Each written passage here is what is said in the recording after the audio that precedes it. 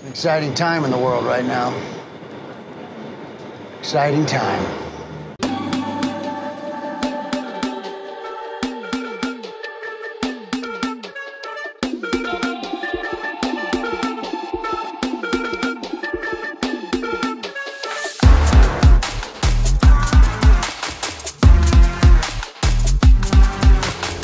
Well,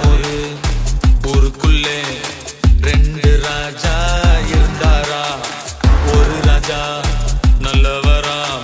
இன்னொரு ராஜா கெட்டவரா. இரவு இருளா இல்லை என்றால் நிலவின் வெளிச்சம் தெரியா